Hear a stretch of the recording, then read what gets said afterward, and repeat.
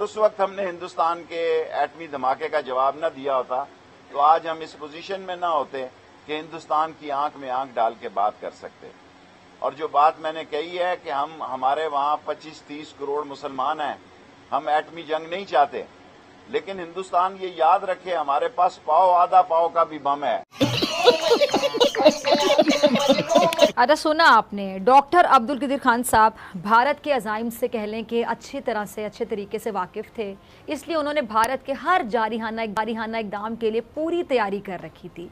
Doctor साहब, क्या कहते हैं कि अगर भारत पाकिस्तान के खिलाफ कोई भी कदम उठाता तो हम अपनी एटमी हथियारों के ज़रिए दिल्ली को पाँच मिनट में एक बटन दबाने की सूरत में खत्म कर सकते मस्त जोक मारा ये हंस रहे हलकट, हंस।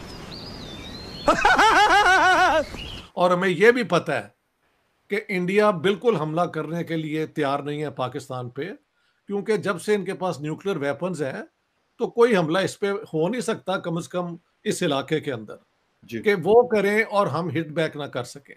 तनवीर मेरा आपसे सवाल ये है क्या होगा अगर हम बम फेंकें इंडिया पे वो भी एटम बम एटम बम फेंकेंगे हम तो हमें कुछ सोच समझ के उसकी तरफ़ एटम बम फेंकना चाहिए क्योंकि एनवायरनमेंट के हिसाब से अगर वो उन लोगों को नुकसान पहुंच सकता है तो हो सकता है उससे ज़्यादा नुकसान हमें ही हो जाए क्योंकि क्योंकि कैसे?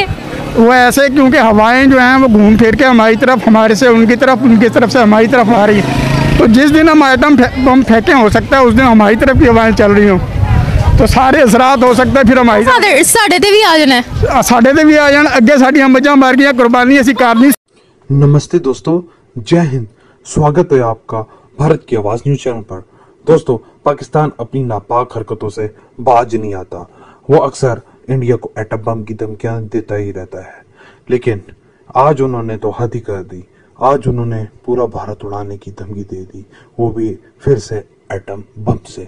जी हाँ एटम बम से। जैसे तो इंडिया ने अपने पास एटम बम चेन्नई बेचने के लिए रखा हुआ है। लेकिन इनको ये नहीं पता कि अगर भारतीय सेना ने एक एटम बम पाकिस्तान पे मार दिया तो पाकिस्तान निस्तो नाबूद हो जाएगा। तो आए इस वीडियो के अंदर पाकिस्तानी मीडिया की बौखलाहट सुनते हैं और उनको इस चीज़ का भी डर है। जय हिंद। अगर उस वक्त हमने हिंदुस्तान के एटमी धमाके का जवाब न दिया होता तो आज हम इस पोजीशन में ना होते कि हिंदुस्तान की आँख में आँख डाल के बात कर सकते। और जो बात मैंने कही है कि हम, हमारे वहाँ 25-30 करोड़ मुसलमान हैं हम एटमी जंग नहीं चाहते। लेकिन हिंदुस्तान ये याद रखे, हमारे पास पाव, आधा पाव का भी बम है। मैं बाबा गुरु नानक के स्टेशन से हिंदुस्तान को मुतनबे करता हूँ। हमारे पास आधे आधे पाव के और पाव पाव के भी एटॉमिक बम हैं।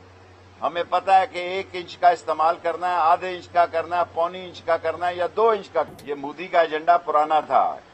ये आरआरएस का शूट ऑफ़ है। ये मोदी का जब उसने बाबरी मस्जिद का वाकया किया, उस वक्त भी आपको याद होगा कि मैंने जो बातें की थी। बास पाकिस्तान के सियासतदान मोदी को पढ़ने में नाकाम रहे। मैं नाकाम नहीं था जी। मैंने लोगों को कहा कि मोदी ना नेहरू है, ना गांधी है, ना वाजपेयी है।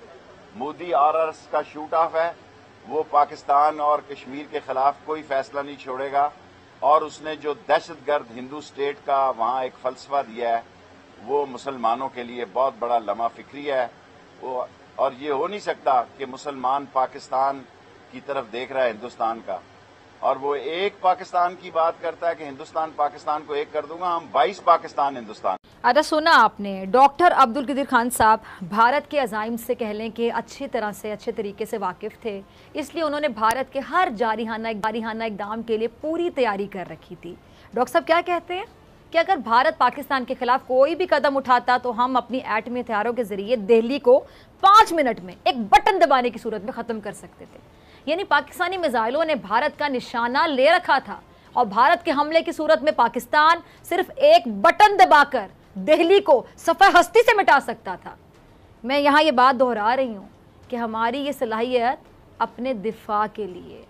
जारहाना जाइम से हमारा कोई वास्ता नहीं है। ये जो बीमारी कह लें, ये खपत नहीं सिर्फ़ भारत को लाक है।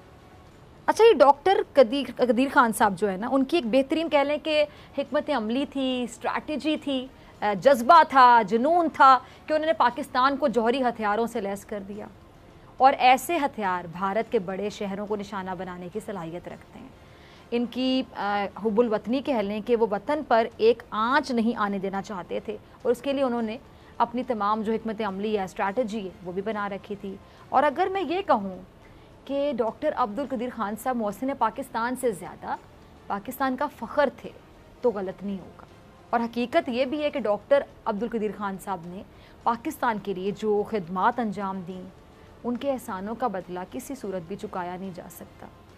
अल्लाह पाक डॉक्टर साहब पर करोड़ा करोड़ रहमतों का नजूल करे, उनको करवट करवट जन्नतुल फिरदौस में आला मुकाम अता। अगर तो हम उनके एटम बम पे गिरा दें फिर तो ठीक है। नहीं तो वो भी हम पे गिरा देंगे। नहीं तो वो भी यानी कि अगर वो हम पे हमला करते हैं तो जायज़ है उन पर हमला करना।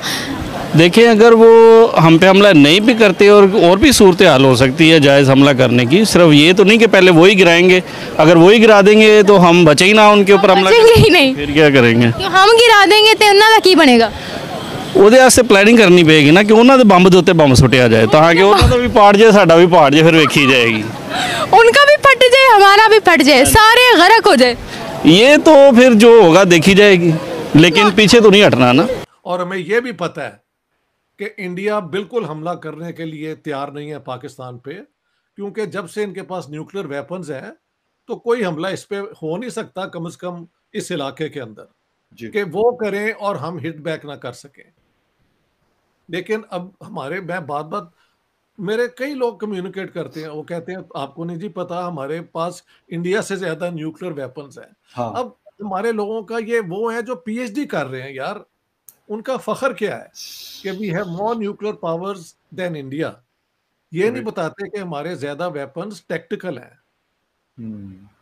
खैर कोई भी न्यूक्लियर वेपन इस्तेमाल नहीं होना चाहिए। ये इंसानियत के खिलाफ एक हथियार है ठीक है? एग्जैक्टली एग्जैक्टली लेकिन उस पर हमारी सारी हमारा फखर क्या है? सुना है वो हमारे फॉरेन मिनिस्टर शाह महमूद महमूद कुरैशी हर जगह कहते हैं we are a nuclear power वो एक हाँ, इंडियन इंडियन बता रहे थे। तो आई I मीन mean, हमारे पास there is nothing more to be proud of ये जो एग्जीबिशंस इंटरनेशनल लगती हैं। वहाँ पे मैंने पाकिस्तान की कोई ऐसी नहीं देखी। यानी आके अब कपड़े एक जमाने में आते थे अब वो भी मुझे नज़र नहीं आते। अब कम हो गए। बांग्लादेश वाले बनाते हैं। Exactly exactly. अच्छा सर एक चीज़ और मतलब वो ये है कि आजकल आप देख रहे होंगे कि एक बड़ा जो हमारा मिलिट्री इस्टेब्लिशमेंट है उसके खिलाफ इमरान खान साहब बार बार न्यूट्रल्स फ्ला डिमका ये वो एक जिसे कहते हैं कि कंपेन भी चल रही है। आप ट्विटर पे अगर रात को जाएँ तो आपको कोई ना कोई ट्रेंड जो है वो लगा हुआ